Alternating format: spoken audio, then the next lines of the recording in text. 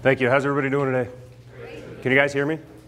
I typically have two, uh, two volumes to my voice, low or strength coach mode. So I'm going to try to be in between there. So um, just to give you a little background on myself, first of all, I want to thank Scott and the NSCA uh, for putting on this great event. We've had some fantastic presenters. How many of you guys learned something today and yesterday, right? How many of you guys are going to go home and say, I need to read a lot more? Okay, yeah. Thanks, Jimmy. Where's Jimmy? Jimmy's not even here. Jimmy, are you here? No, okay. So, uh, just to give you a little background on myself, because I think it's important about what I'm going to talk about. Um, I've been at University of Michigan for two full seasons now. Um, I started my career. Um, I played hockey since I was about five or six years old. Love the sport. It's a huge thing in my life, uh, my family's life, everything. So um, I knew from a young age that I wanted to do that for a career. Uh, when I say young age, maybe freshman in, high, in college, uh, somewhere along those lines. I went to University of Rhode Island, played hockey there. Not very significant, not a very good player, but I love the game. So that's not really has anything to do with my talk at all. Uh, when I was done at the University of Rhode Island, I did an internship here at the USOC. So Robin, who's in the back, Robin, raise your hand. Robin and I were intern partners together uh, in the physiology lab. So I always knew that training was a huge part of sport. I knew that coaching was a huge part of sport. Uh, when I got there, it opened my eyes to something that I've never seen in my life, right? And I think Robin can attest to it. It started my career, it started me on a path that's very different than uh, I feel a lot of others. Um, it opened my eyes to not just the coaching side of it, not just the training side of it, but actual planning side of it, and that's what I'm going to talk a lot about today. So, uh, when I was done at the USOC, it was about a six or seven month internship. Um, I went on and I got my master's degree in Shreveport, Louisiana, uh, at a satellite campus, LSU. And when I was there, I worked under a guy named Kyle Pierce. Um, he's considered to be one of the best developmental weightlifting coaches in the world. I think he is the best, and I think he's one of the best weightlifting coaches, period. He's had multiple Olympians come out of there, multiple world championship team members, stuff like that. So when I talk about weightlifting, I talk about Olympic weightlifting, but for me, it's a weightlifting movement. So when you uh, hear me talk about weightlifting, know that that's different than weight training. Um, from my time, when my time finished at LSU in Shreveport, uh, I got my job, my first job at the University of Richmond. Um, I was an assistant there. I worked under a great guy, taught me about training environment in a collegiate setting, in a team setting, versus an individual setting like weightlifting. Um, I was fortunate enough at that point to earn the right to have a position at Yale University. Uh, I spent about six years there, six full seasons almost, um, and we started off building that program. I came in in Coach Allain's second year, um, and we kind of culminated that with a national championship in 2013. Uh, I did a brief stint with the Army. I did a, a, brief stint with the Special Operations Group down in Savannah, Georgia. Um, and then I got a call from Michigan. Um, Michigan's a place where you don't really turn down the opportunity to work there. So this is our mission statement, this is our philosophy. Now I've had a lot of different experiences. Um, I've worked with 80 or 90 different teams, okay? Lots of different athletes, lots of different coaches. Um, I've been doing this almost 12 years now. Um, the one underlying theme is what I'm gonna talk about today, is planning, okay? we have all these great ideas. How many guys learned something new today that you want to try to implement? Okay, yesterday you learned something new that you want to try to implement. Okay, planning is a huge portion of that. Okay, and every coach that I've talked to, every head coach that I've talked to, every athlete that I've talked to, all the successful ones have a plan, and that's what we're going to talk about today. Um, for me, I typically try to spearhead the annual planning within our teams, within my teams, with, with my coaches. And to give you a quick little example, a couple years ago, I was working with a baseball coach and we were talking about a lot of things and he was trying to have, figure out his schedule and his travel time and stuff like that and when to train and whatnot. So I went in there and we talked and we sat down for about six hours and we planned out the entire year. Now this is a coach that's been doing it for 22 years. When we came up with what I'm going to show you, um, he's never seen it before. He looked at it, he goes, I've never seen this before. It makes perfect sense. It's a strategy behind what we need to do. He could see that in six weeks or eight weeks or nine weeks what was going on and how he could go ahead and plan for that. From everything, from the logistics of travel to the logistics of who's starting as a pitcher, so on and so forth. So again, this is a guy that's been coaching for 22 years. He played 20 years or something like that in MLB. He's never seen anything like that. It's just some things that I think you guys can pull from this as well. So um, again, what is an annual plan? Has anybody set up an annual plan? Anybody ever sit down and, and set up 52 weeks or more, okay, from start to finish. Okay, so an annual plan, it's a, it's, um, it's a tool, right? It's your strategy, it's your roadmap. I came here from Michigan, from Ann Arbor, right? I had a map, of how to get here to Colorado Springs. I had a plan. I got to the airport, went to the other airport, flew, so on and so forth, right? If not, I don't know where I'm going. It's the same thing here. That's what an annual plan does. It's a component of periodization because it divides a training year into distinct phases. So basically you have a block of time, what you're gonna do during that time to make sure that your athletes are getting the optimal performance down the road. Not so much what's happening right there as it is down the road, what you want them to do down the road. You've got an athlete that comes in and they're 17 years old and you want them in two years to be a 19 year old phenom. There's a lot of work that needs to be done there. If you're just guessing and plugging things in, it's not gonna happen. They're gonna get lost, right? So point A to point B to point C to point D, right? And I'm going to talk a lot about that with on the individual side as well as on the team side. Okay. Um, basically, Bompa talks about this as um, directing an athlete through 12 months of training. So the biggest question that I have for you guys as well, um, have it, has anybody ever seen anything like this? Has anybody ever put anything? Raise your hand if you have. Okay. Has anybody talked to a coach or brought this to a head coach before? Has anybody sat down with a head coach and done, done anything like this? Okay, so this is my template. This is a template that we use at University of Michigan as well. It basically has just all of our scheduling stuff, all of our resources, and where we're going to emphasize certain things because there's going to be times of the year where you don't need to emphasize or use resources that are available to you, right? Just because you have it doesn't always mean that you need to use it. So this is kind of just a, a map and a guideline of when you're going to use certain things and when you're going to emphasize certain aspects or variables of training, et cetera, et cetera okay? So my question for you guys, again, if you guys have any questions, also just raise your hand and ask. Uh, it's a little bit better when we're a little more interactive. So question for you guys is how many guys work your players out? You lift. How many guys take players in the weight room and lift? Okay? You take them to a track and you run them. Okay, you take them out to the ice and you, you skate them. However, whatever method is that you use. Okay, Jimmy, how are you? Okay, so I don't do any of that okay? I don't work players out. I don't condition them. I don't skate them. I train them, okay? So list of one thing at the University of Michigan and everywhere I've been that if we talk about it, if you open up the dictionary and you look at what training is, this is the exact definition of it. I don't work players out. I don't skate them. I don't condition them. I train them. All aspects, right? Everything from the mental side of it all the way through the nutritional side of it, through the weight room stuff. So yes, we work out. We have workouts. That's all played into a training plan, okay? If you, have, if you think that everything you do is training, and I get this across to all my players as well, I sit them down when they first come in and I tell them, everything you do is training. It doesn't matter if it's a video session. It doesn't matter if it's a power play practice. It doesn't matter if it's a skill session. A game, wins and losses of games, uh, training table, weight room. Everything you do is training. Whether you're making the right decisions out of, away from the rink, if you're making the wrong decisions away from the rink. That's training yourself. You're either training it negatively or positively. Everything you do within an annual plan, within a year, once you decide that you are going to start to become a hockey player for the following season, is going to play an effect on what you're doing. It could be positive, it could be negative, right? Player says, well, you know, I stayed up till 3 o'clock last night and I was out at the bar or whatnot. That has a negative effect on his training session that day, and that has a negative effect on the road.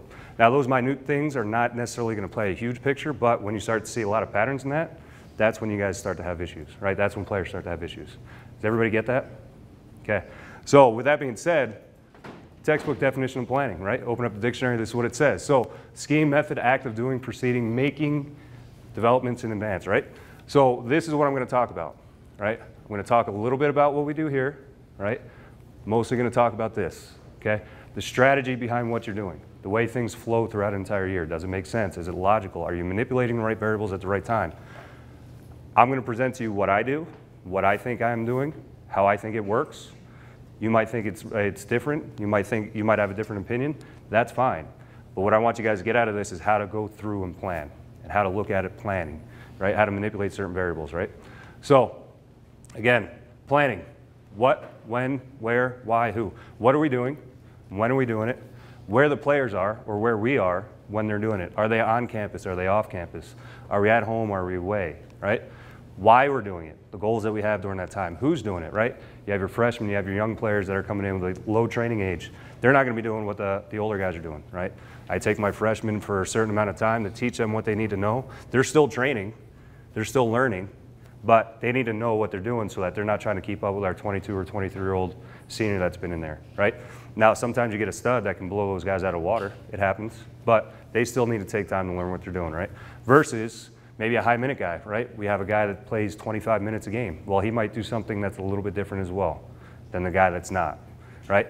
I personally am more aggressive with those high minute guys than the other way around. Why? Because we need to count on those guys to be productive, to be fit enough, to be able to take and handle those minutes and recover from it. So there are certain times of year where those high minute guys, I'm hammering them. I'm hammering them. Why? Because you're a guy that we need to key on. You're a guy that we need to work on. You're a guy that we are going to count on as a team. Does that make sense? Okay? So what we're not going to talk much about is the programming, the how. Programming for me is the exercise selection, frequency, intensity, duration, sets, reps, whatever methods it is. I'm going to breeze over some of that stuff. If you have any questions specifically about it, you could ask them afterwards or just throw your hand up and ask how we do that. But I'm not going to talk about that much. Again, why? Because this is a strategic plan. Okay? This is your roadmap of what you're doing. It's not necessarily why, or it's not necessarily how you're getting those variables or, at, or how you're training your players at that time. That make sense? Okay. So, periodization, right? I think we can't cover this enough. Uh, every time I give a presentation, I always put this definition up here. So, uh, it's a method of manipulation of trading variables in order to increase the potential for achieving specific performance goals. So, basically, you got a good player, right? He's young, a little on the weak side, you want to get him stronger. How are you going to manipulate those variables? How are you going to manipulate those sets and reps, intensities, et cetera, et cetera, to get him strong? That's for me what periodization is. That's a definition of it. Annual planning is the thought of the strategy of those of those plans, of those variables, right? Because you get a guy strong, well, a byproduct of that is he's going to be powerful, but you need to train him to express that power, express that strength, right? How many times have you seen a guy you're like, that guy's strong as a bull, but he can't do anything in the weight room? He needs to learn how to express that strength, and learning to express that strength is going to go ahead and allow him to be stronger, gain strength, so on and so forth. So the annual plan is the, the strategy of all that, right, of athletic development. The biggest thing here is for me is athletic development as well. I'm not training hockey players, I'm training athletes. We've heard that uh, time and time again throughout the last two days. But for me, if a guy doesn't can't jump, he can't squat, he can't run, he can't this, he can't get that, that's great, but that's also limiting his potential on the ice as well. Okay? Right? He could be a high end player, but if he can't do those things to a moderate to average, above average level, then he's limited on what he can do on the ice. If you could take those variables and train them and get him better at that stuff, you're going to improve and kind of unlock that potential for him on the ice. That's a true belief of mine. I've seen it happen time and time again, um, and that's with every sport. So I'm going to train the athletic side of him. Athletic development. So what's athletic development? What are you looking for with athletic development? Anybody? Throw some out. Strength, good. Strength is one of them, right? Strength is one of the great underlying factors of athletic development. It's one of the things that you could always train. You could always get somebody a little bit stronger, right? Doesn't matter if it's five pounds, 10 pounds, 2%, 20%. I put 50 pounds on a guy on, on his back squat. I put 100 pounds on it. You could always get guys stronger. Explosive. Explosiveness. So explosiveness is another one. Again, you got a guy that's really strong, right? How many, how many of you guys have seen somebody that squats 500 pounds, but they got a 20 inch vertical jump? I've seen it. It happens. You need to express that strength. You need to turn that strength into power, right? Um, what else? Anything else? Athletic development? What it? Acceleration. Acceleration, good. So again, we know what the variables of athletic development are. When are we going to put those in? Is it appropriate to train acceleration when we're in a high volume phase? No, right? Is it appropriate to train uh, conditioning when you're trying to get guys stronger? Yes and no. You ask Jimmy, yes, no, maybe so, here and there. Um, but so there are all these different things. When you have a philosophy, you have a thought, you have tools in your mind, you go with that. You plan it out and you go, right? Make it logical as much as possible. So within a college program, I came up with this list, and this list was probably about 70 points long, right? I had so many things that I'm looking at, and my mind was swirling right? I had things, I had a whiteboard like this with so many different things that we've tried to achieve, we have resources for. So I tapered it down to 10 things. Again, it could be 20, it could be 15. It's a matter of how you categorize it, right? So these are 10 things that we have to deal with on a daily basis within an NCAA program. First and foremost, because it's important to me, strength and conditioning. Well, what are we doing in strength and conditioning, right? We know that there's all these variables that we have to train, these all these things that we want to do. So it's one thing, but there's really 25, 30, 40 different things that we're going to do with, that revolve around strength and conditioning. Performance nutrition, right? We have a great nutritionist on our staff, so I don't have to deal with nutrition as much here at Michigan as I did at my other places. She's a professional. She gets paid a lot. She's a nutritionist. I bring her in when we need our plan for nutrition, when we need our interventions, when we have problems. She's a professional, she does it. I don't jump over that line. Do I have the ability to? Maybe, but not to the level she does. Psychology, we have psychologists on our staff, right? We have a psychologist that deals with everyday problems.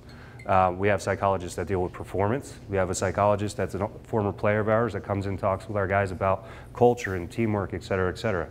Well, it's for me, in that annual plan that we talked about, to go ahead and delineate when they need to come in, when we're trying to implement some programs, and what programs we're going to implement at that time, right? So in April, after our season's over, we're not necessarily going to talk about visualization and, and whatever else that's going to get them to understand from a psychological standpoint. What we're going to talk about is how to deal with what we just what just happened to us. We just kicked the crap out of ourselves for 380 days, and we didn't achieve our goal.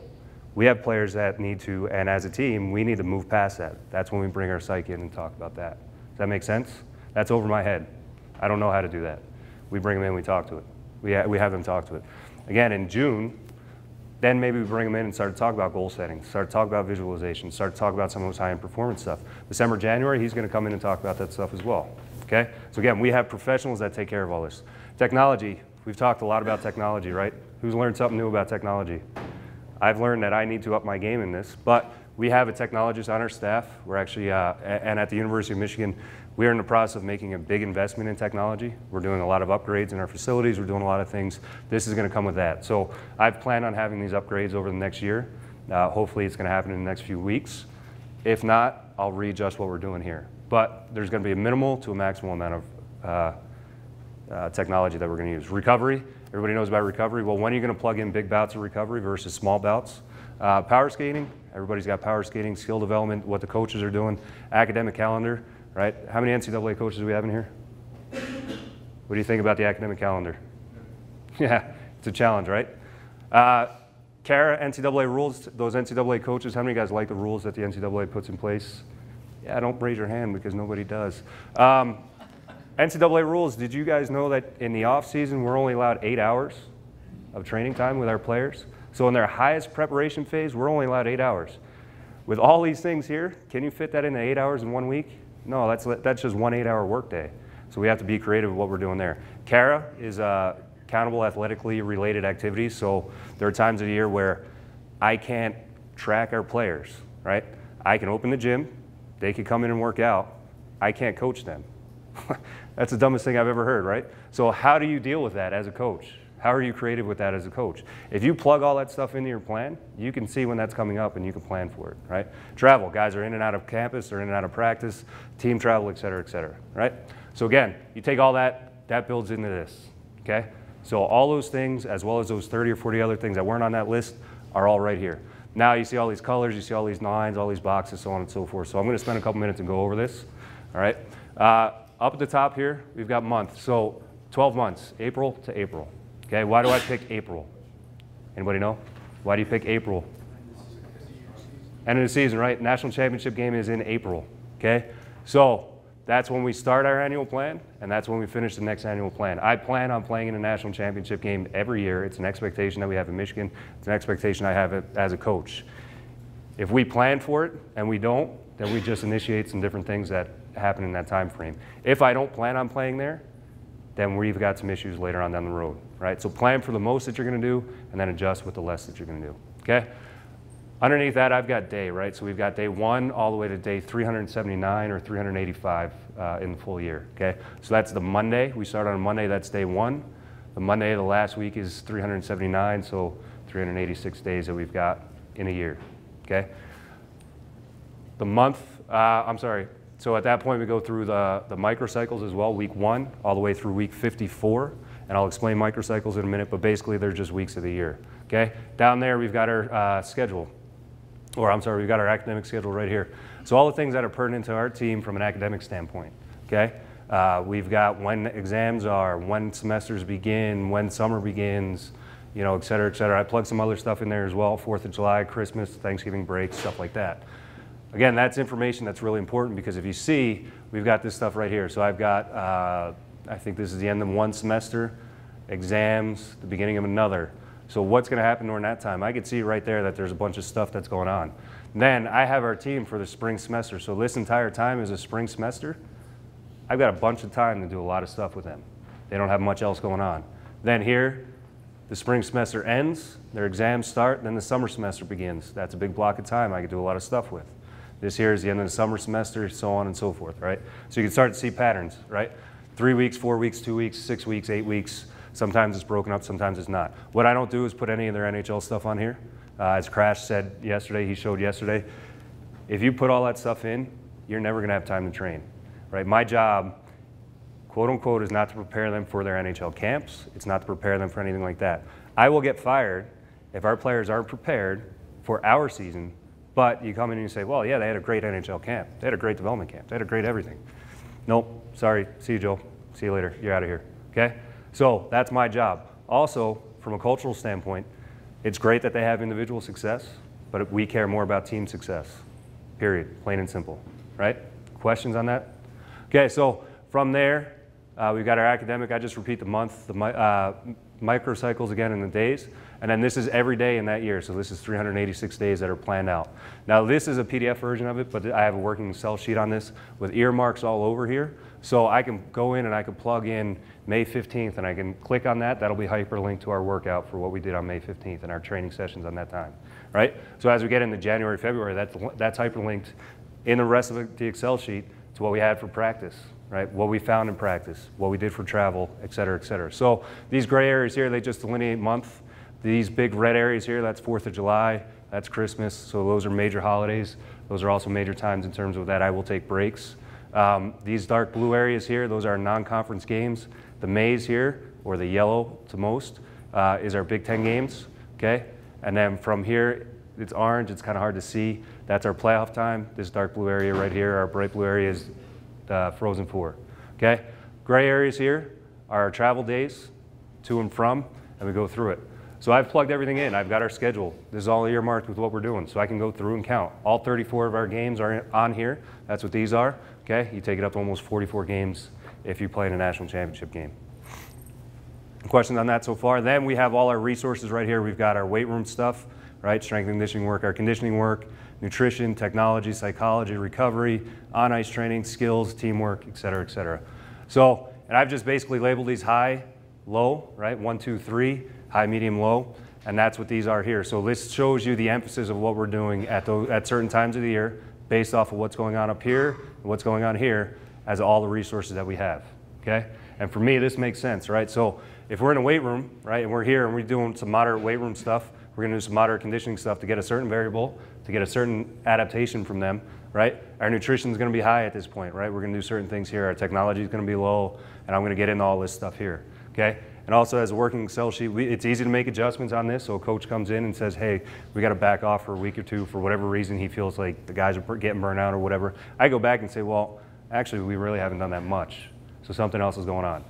Guys are getting sick. Well, because it's been negative 40 for the last eight days, we need to do something to help them with that, right, et cetera, et cetera. Or, and if they, we end up do making an adjustment, say here, right, with our team stuff and our practice where we're going to take some away or whatever, that has a domino effect with everything else that we're doing. If I go ahead and I make some adjustments here, that's got a domino effect with everything that we're doing for that week as well as weeks to come. Okay? Does that make sense? You guys all see that? Okay? Down here at the bottom, this is our sports stuff, so this is going to be based off of their practices. Uh, I just labeled it 1, 2, 3, 4, 5, 6, 7, 8, 9. Uh, those are just nine variables essentially that you're going to practice. I don't tell coaches what to do during this time. I don't design practices, but I will talk to them about the intensity of their practices, the flow of our week, and then I'll plug it in here. So, you know, we might have December 15th, I have one, two, three in here. So that means that we did skill development, we did speed development, we did passing work, right? And then so we could go through and I'll hyperlink that back to our practice plan, right? Um, here, the strength and conditioning side of things here, again, this is a working sheet in Excel. So volume in terms of poundage, right, or tonnage, volume in terms of reps, plug those numbers in, it gives us our graph so you can start to see your periodization trends at that point, right? How many times have you written a program, how many guys calculate volume, intensity, right? Sets times reps times weight gives you a certain number. How many times have you programmed three weeks and then all of a sudden you realize that that trend is downwards? Like, well, the intensity is going up, the weight's going up, et cetera. But the actual tonnage that you've moved over a week is going down, right? So it happens to me all the time. I'll plug some stuff in, I'll, I'll take workouts, I'll take protocols, I'll put them in, and then all of a sudden I realize that we might be lifting 5,000 pounds in a week here, and we're lifting 3,000 pounds in a week here, and then over here we're lifting 2,700. Where our trend is down, maybe I want it to go up, right? So that's just a good tool for me to go ahead and say, okay, this is what we're doing, right? And then it also has reps on there as well, so you can see, okay, well, we did 5,000 pounds and 300 reps on one week. We did 3,000 pounds and 200 reps in another week. So now you can see that the intensity was up at that point. So it just gives you trends, a visual idea for trends. Okay? So I just want to go over some of the definitions of this stuff and this stuff because it's important as we go through. Now, you guys all read literature about periodization? You guys all read books, Bompa's book, Doc Stone's books, so on and so forth. So a lot of that stuff is talks about individual, uh, track and field, swimming, throwers, etc. I've taken that and I've kind of applied it to, um, through Zatsiorsky's work, I've applied it to a team setting. So the definitions might be a little bit different than what you think or what you're, what you're hearing, but the, uh, the idea of it is the same. So the macro cycle, that's this entire year. Macro cycle right there. Mesocycle is a system of several microcycles. So several weeks linked together and what you're trying to achieve at that point. Microcycle is a grouping of seven, several training days. In the off season for me, it's seven. In season, it's 14. Okay? Daily is just what you're doing each day at that point. So the workouts, okay, are here, right? The microcycle, the trend of the week is here. The mesocycle, the variables that you're looking to do are here. And then the macrocycle is what you're looking to do the entire year. Okay? You guys get that? Am I boring anybody? No? Okay, good. Uh, so if you go back and look, if you look at a 2015-2016 annual plan for me, what I put together going forward, okay? It starts on April 6, 2015, and hopefully ends April 24th. The national championship game is April 9th. We want to be playing in that game. We want to win that game. So I plan on the, the annual plan being all the way through April 24th. That's 385 days. Have you guys ever set up a project that you're doing in three weeks and then just that week revisited that project and said, okay, I have no idea what I'm doing? Well, it's the same thing here. How do you plan for 385 days? You have 385 days ahead of you to have reach a goal, what you're going to do along the line. That's what the annual plan is, okay? Transitional phase, right? So an annual plan is going to consist of three phases. Transitional phase, preparatory phase, competition phase. Okay, everybody got that? Transition from one competition phase to another. Preparatory is all your big preparation, your off-season work. Competition phase, obviously in season, then transitional. Now, if you talk about individuals like swimming or track and field or what have you, these phases, there may be many of these phases here, right? You may have a competition that you're peaking for for a national, you know, a national event, and then you've got a transitional phase, and then a preparatory phase, and then a competition phase. So in a team setting, we basically uh, lump it together to look like, well, look like this again, okay? So basically our transitional phase is over here, our preparatory phase is here, our competition phase is here, our transitional phase is here, and that's right here, okay? Transition, preparatory, competition, transition. Got it? Okay, so for us, March 14th is when our, we initiated our transitional phase. That means we lost our last game on March 13th. So the previous year's annual plan went through April 19th because of uh, the national championship game. We lost, our season was over. We initiated our transitional phase March 14th. And that goes through April 24th of uh, the following training plan, right? So 2015, 2016 annual plan. So it's the finishing up of the 2014, 2015 year, starting of the 2015, 2016 year. Preparatory phase is April 27th, October 14th.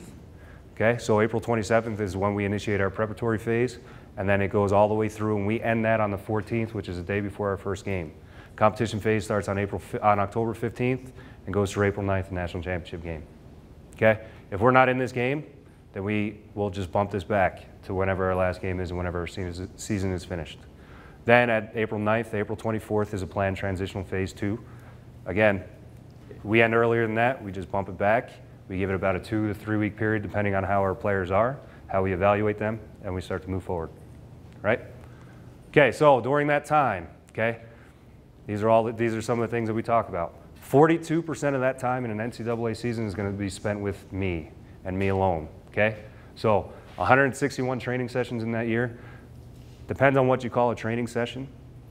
Um, but 42% of that time is with a strength and conditioning coach. Okay, that's not including pregame warm-up, post-game cool downs, pre-practice warm-up, post-game, uh, post-practice war- cool downs, individual sessions or anything like that. The bulk of the team, 42% of the time, is going to be with just me. Now, I'm with them 100% of the time. I'm with the team on travel. I'm with the team at all the meetings, all the meals, everything. There's not anything that I miss with that team. But 42 of that's going to be dedicated to just strength conditioning. 25% of that time is going to be practices, right? About 98 practices. We might have a little bit less or we might have a little bit more, depending on what we're doing and what we're planning on during a month or during a week. Uh, mandatory 23% of that time is going to be days off. NCAA mandates that you have to give them that amount of time off.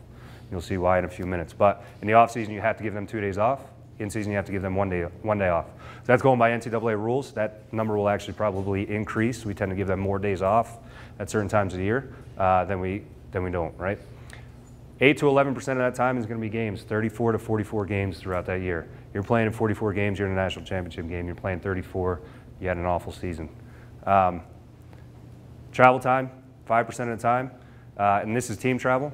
So we'll have 20 travel days, uh, basically 20 weekends. It's going to equal about 40 days away from our home building. Now, that being said, last year our training plan, we traveled nine weekends in a row.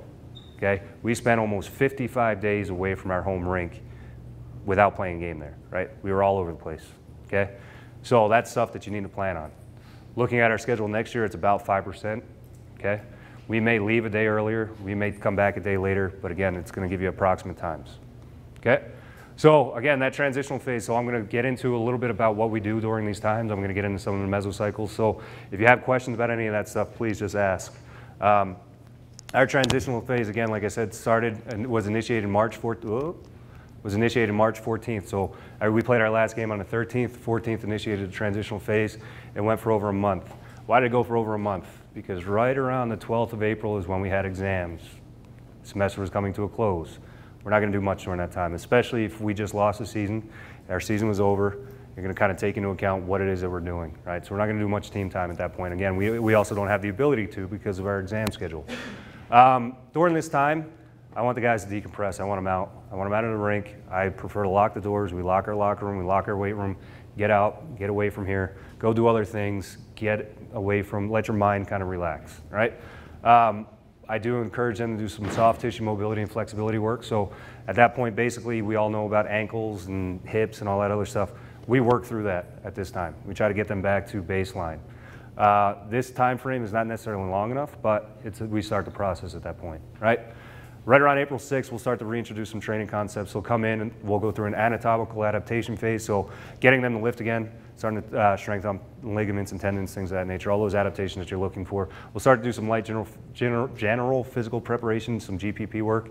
Again, just to get them back in the groove of lifting, right? Let them get through some of the soreness.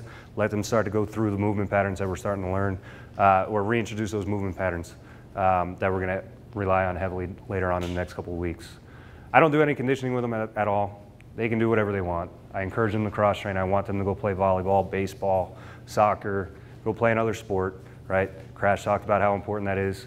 We want to get them away from the rink, right? There's going to be about a three week period where they don't put their gear on. I know that. It's locked in their locker room. They can, right? Go play another sport. Go do something else. Go for a run, right? We had, I had a guy do a 12 mile run during that time. That's great. Awesome. Go for it. Have at it, right? Uh, but what we do have a lot of focus on at that point is we start to implement a nutritional intervention program. So we have our, I bring our nutritionist in. She's going to do a lot of educational work. So presentations like this, she'll do some one-on-one counseling. We're going to look at our body composition, reassess that, look at their eating, eating habits by having some dietary recalls, what they thought they were successful at or not successful at throughout the entire year, et cetera, et cetera. Again, she does that. I don't. I just help with it. I help work with that. So. April 27th is when our preparatory phase starts, right? So this is when the fun stuff starts. This is our off season. This is our summer, right? We go through eight mesocycles. That's going to last 24 weeks. That's going to include our preseason or our specific preparation for ice hockey, okay? All we're doing at that point is we're emphasizing basic continuum of strength. We're going to start off with GPP and work our, all our, work our way all the way through the hockey specific training or the power speed endurance training. I use block periodization at that point, so it's going to be four to six week blocks. I feel like that's what works best within an NCAA season for a team. So we're going to take a time and focus on one variable. That does not mean that all those other variables go away. But what it means is that we're really emphasizing one variable at that time. Okay? And then over those eight blocks, those eight mesocycles, all those variables have been trained. And then with that last one, that specific preparation, we're getting them to understand that all those variables we trained we can express now through a hockey player. Does that make sense? Questions on that? No? Yes? Do you have any adaptation weeks when you decouple, right? Say that again? Do you have any adaptation weeks within those, within the cycles where you're increasing volume, increasing volume, and then decreasing volume? Yep, so I'm going to go through that. But all these cycles are basically going to be on a three or four week to one. So uh, we're going to slowly or aggressively, depending on what we're doing, increase the volume, then drop it off and deload them. So, um, but again, that's going to be dependent on what we have. So you'll see when I talk about it in a second. But we have a spring term that's eight weeks long. So a four to one is not necessarily going to be appropriate at that at that point. So we'll do more of a six to one. Okay, because again, we're looking at the, the, the trend of what our schedule dictates.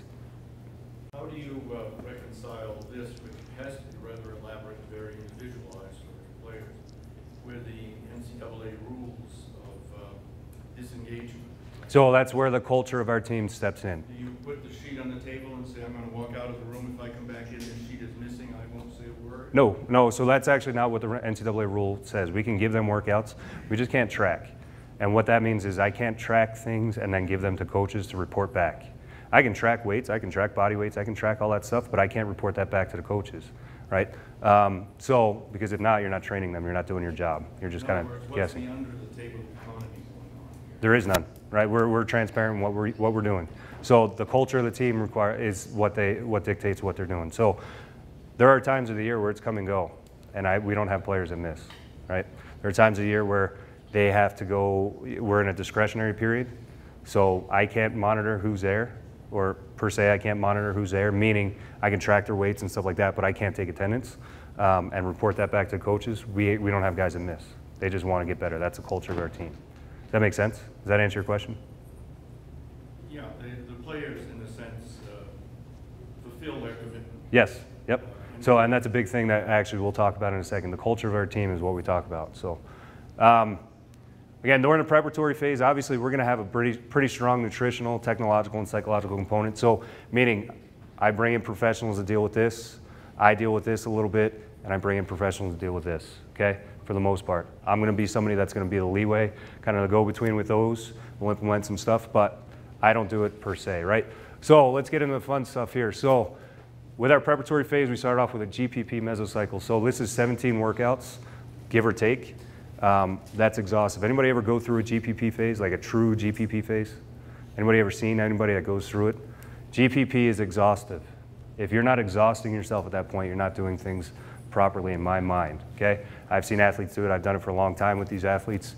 Um, it's something that I'm doing for a certain reason. The goal of that point is to increase our work capacity. So they just spent five weeks sitting on the couch, not doing much, not doing anything that really resembles training. They've been doing some, uh, some light lifting, some light GPP work. So we're going to take that and we're going to increase that work capacity a ton. Okay? Those workouts are going to be anywhere between 45 and a minute, and an hour and 15, and they're exhausted, right? They don't like it.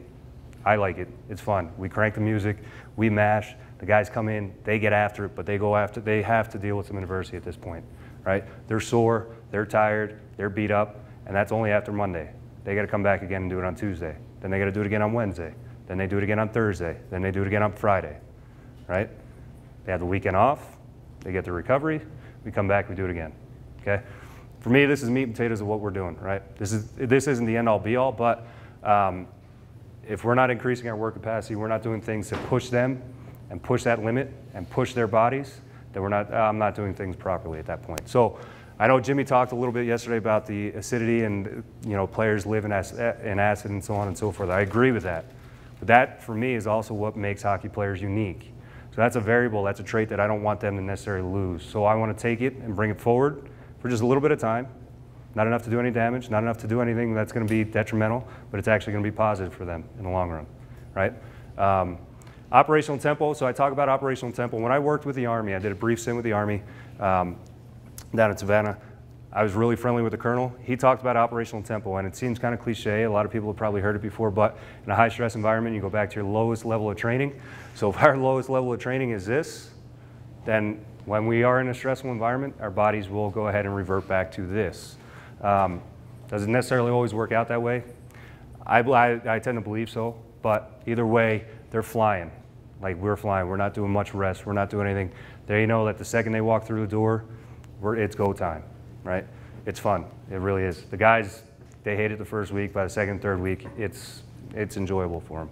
Um, other people think I'm crazy at that point, but that's okay. We'll address some body composition stuff as well. Um, we have an aggressive and progressive conditioning scheme. So in the, oh, 10 minutes, okay. So in the, uh, in the spring term, I have the entire team there, so we're going to get as much conditioning out of them as we can at that point. We have a pretty strong nutritional program at that point, obviously to get them through this, right? Uh, but we also start to have an in intervention program at that point, so we're teaching them about how to eat, how to prepare their food, what to eat when, how to eat after workouts, intra workouts, et cetera, et cetera. Our nutritionist does a great job of being able to periodize all their, all their nutrition and, and can individualize it for everybody. So psychological component at this point. I don't bring the psych in at that point. That's a lot of our culture. That's a lot of our teamwork. They're going to go through adversity with each other, and they're going to get through it. Our captains will take reign on that. I'll let them lead our team right? And I will just help push them in the right direction. Okay, our core values that we have as a team, we will re-implement, reintroduce, and redefine at this point, right? So we have core values. Well, it's not going to be the same as what it was in 2014, 2015, because A, that didn't work. B, it's a different team.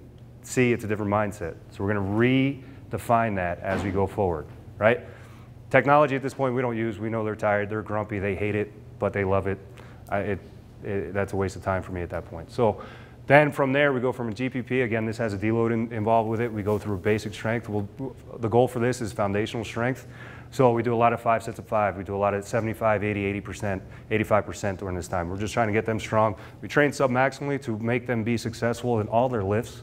I back squat, and I back squat a lot, right? Twice a week, if not three times a week, depending on the, the players. Why? The more practice you are, the better you're at. For me, that's the best, one of the best ways to express your strength, um, and that's how we do it, okay? We have huge increases in strength at this point, huge, right? Again, diff some different methods. You wanna ask about that, we can talk about it later. Uh, we have a slow progression towards speed, so that means that we just cut our interval times, our interval distances down, to try to get them to run a little bit faster because in the next phase, our power phase, they have to run fast. So we're just slowly starting to progress them towards that speed. Okay, we'll do some slight acceleration work, we'll do some start work, stuff like that. But again, to get them to practice so that in the next phase, when we are really hammering this speed work, then they have already done it, right? Uh, nutritional component is still there, pretty high at this point. We're working on recovery. We're trying to teach them how to recover with nutrition, fuel, and we're starting to address some body compositions as well. Guys that need to lose some weight, guys that need to put some weight on, we'll address it during this time as well. Again, that's something, body composition is something that's not done in six weeks. It's done in 36 weeks. So it's a constant battle and a constant increase or improvement of that. Okay? After we're done with that, we go through max strength cycle. This is about two weeks. Um, we are here to increase the expression of maximal effort strength. Okay? So we are trying to set PRs. We are trying to get our guys to be stronger than they were the year before. That means we're using a lot of 85 to 100% loads, multiple sets of singles and doubles. We did a workout the other day where they did 19 singles, okay? Anywhere between 75 and 95%, okay? So the earlier sets were obviously warm-ups and stuff like that, but they did about eight singles above 90% at that point, okay? Yes? Two to three minutes, as much as they need to be able to accomplish that weight. So we're setting them up to be successful at that point. Um, ironically, we have less missed lifts during this time than we do during this time, than we do during this time. Why? Anybody have any ideas? Rest, what else? PRs? Pra how about practice? They just have more volume, right? So they've just done 200 reps or 300 reps of certain exercises. So now is, they're starting to express that at this point. They have more practice at it. The more you practice, the better you become, right? The more, and that's where that mindset of training comes in.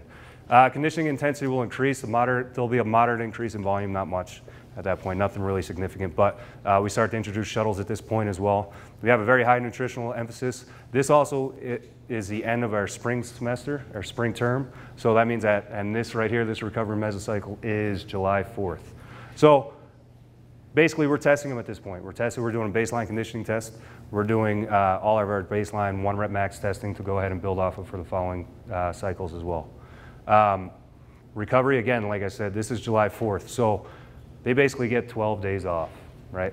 We did all this work here. We did all these things. They went through everything. We created our culture. Five minutes left, a lot of stuff left to go through. Uh, but we give them plenty of time off. Uh, they'll do a little bit of training at that point, a little bit of lifting, a little bit of running, just kind of keep in par and keep the ball rolling what we did here. But this time here, they're off. They're off on the beach. They're taking vacations. A lot of times we have our guys that are going through their development camp, camp at that time. Um, so we'll have kind of a decrease in the volume of our players that are on campus at that point. and then right around July 10th we come back and we start another mesocycle. At this point, we're doing power and speed. So remember, we talked about everything's training, everything's building off of each other. So we set strength, right? We increase our strength. Strength, byproduct of that is going to be power. You're going to obviously be more powerful the stronger you are, but we're teaching them to express all that power and speed here. All right, we did some of that speed work that we talked about before, slowly progressing towards speed work. Well, now they're looking to express all that speed here. Goal of this is to increase our rate of force production, specifically our peak rate of force production. So I want them to be, we do a lot of impulse training. I want them to be able to, when they go, they're going. And it's going 100%. Bang, go. I don't care if it's from here to that door, they're going as fast and as hard as they can. I don't care if it's 100 pounds on the bar if it's 300 pounds on the bar. Everything's moving as fast as possible. That impulse to be powerful is there. Right, we're going to use moderate loads because that's what kind of the research shows is that any, right around that 70 to 80% range is when maximal effort, uh, max power is going to be there. Now, again, the variables that the other variables, that strength variable, it's not gone. We still revisit it with some 90% work, but that's not the majority of what we're doing. Again, we'll use some different types of different methods of training at this point: potentiation, contrast training, et cetera. Some of those things that you guys have learned over the last couple of days or that you already have. So basically, your philosophy, what you have, should fall into some of these things here. You start to implement that at that point, right?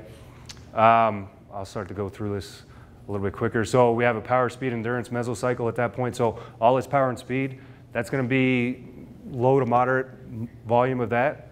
This year, we're trying to increase that volume. So maximal effort, repeated bouts of power, of speed, et cetera, et cetera, because that's going to start to transition to sport-specific speed, which again is hockey. So how many of you guys want your hockey players to be out there for three minutes and just kind of float around? No, we know through shift times, we know through technology, stuff like that, that's multiple bouts of speed. That's where we're starting to train here. Um, they, we start to reintroduce hockey at this point as well, so I'll take them on the ice and do some conditioning work with them as well. This is going to be right around mid-August. So that volume of on ice stuff increases. So they've done stuff on ice on their own. That's fine. Some skill stuff, some shinny hockey, whatever. I'll go out and I'll actually start to do some power skating with them as well. Uh, we'll start off with edge work, take about a six week progression, go from edge work all the way through overspeed training. Um, nutrition starts to become a big factor at that point again as well. So the nutritionist comes back in and starts to talk about things. So then we revisit our max strength mesocycle. This is beginning of September, so we have everybody on campus again back here. This is the beginning of our academic year. So we'll do some testing, right? So we do one rep max testing again. Um, bench press, back squat, uh, power cleans. We do a multiple, uh, a max rep 25 pound pull up test. We do jumps, et cetera, et cetera. We also do our, our conditioning test. My conditioning test is 200 yard shuttles. We do 10 of them, two minutes rest in between. All of them have to be under 34 seconds with individual goals for each guy. We do that here as well, okay? And then we start to bring in our nutritional stuff as well.